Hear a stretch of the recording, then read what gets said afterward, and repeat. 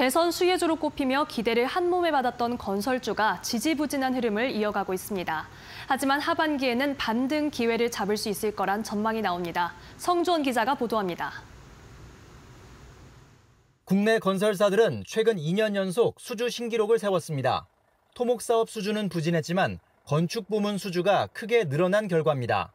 그러나 주택 중심의 수주 증가는 건설사의 실적 성장으로 연결되지 못했습니다. 주택 관련 여러 규제로 재개발 재건축 사업 속도가 더딘 사업장이 많은 데다 올 초 원자재 가격 상승으로 수익성도 타격을 입었기 때문입니다. 이는 건설주 주가의 발목을 잡았습니다.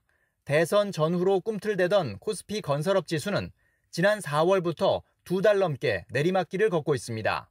건설사의 실적과 주가 방향을 돌려세울 가장 확실한 모멘텀으로 재개발 재건축 활성화가 꼽히는 가운데 최근 들어 관련 기대감이 커지고 있습니다.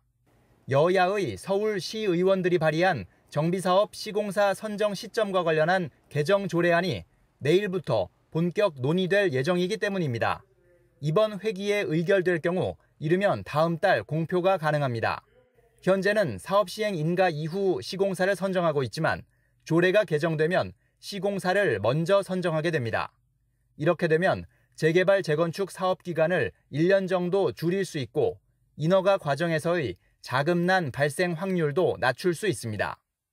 종전과 달리 사업 시행인가 이전부터 시공사를 선정할 수 있게 된다면 전체적인 사업 수요 기간이 단축될 수 있고 인허가를 담당하는 지자체 입장에서도 좀 더 구체적인 사업 계획안을 대상으로 승인을 내줄 수 있게 됩니다.